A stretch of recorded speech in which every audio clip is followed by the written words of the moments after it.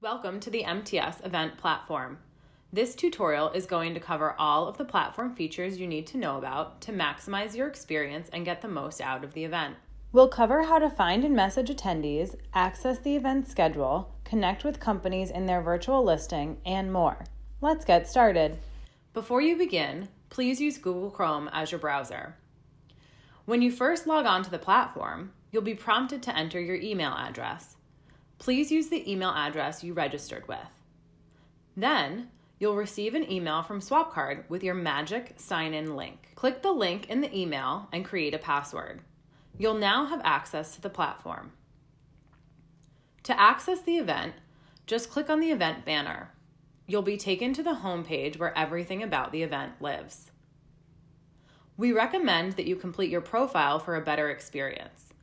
To edit your personal profile, change email notification settings, and change your password or email address, simply click your image and name on the top right hand menu.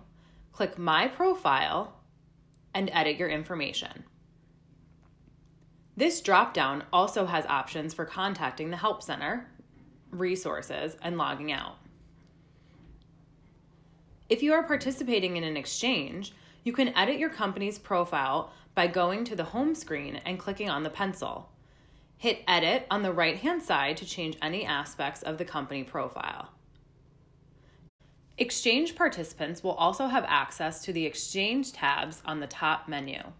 When you click on an exchange, you'll be able to see all of the participating companies.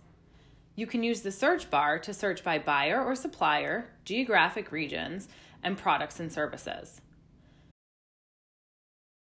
When you click on a company's virtual listing, you'll be able to see things like videos, company contacts, company information, documents, attending team members, and more. You can chat directly with a company's representative by clicking into their profile. Additionally, you can click on the Attendee tab on the top menu to see event attendees. Click the plus icon to initiate contact with an attendee. Hitting the plus icon will add the attendee to your connections, which you'll be able to download after the event is over. If you click on the chat bubble on the top banner, you'll be taken into a new window with all of your open chats. From here, you also have the ability to directly start a video chat. If you click on the down arrow next to your name, you will be able to toggle over to your company's chat messages and respond to attendees. Next, let's talk about how to access the event schedule. Click on the words Schedule of Events on the top menu. Here, you'll see the full program. All times will be shown in your time zone. You can add a session to your schedule by clicking the Add button to the right of the session.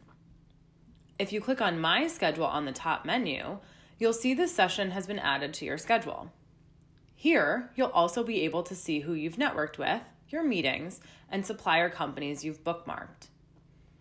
When it's time to join a session, you can go directly into the session and click the blue link.